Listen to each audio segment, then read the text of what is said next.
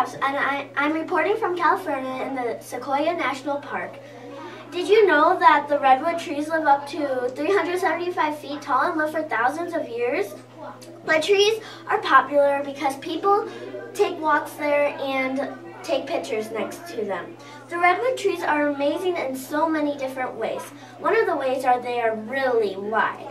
If you are looking for a place to go, you should go to Sequoia National Park with your family and take walks there.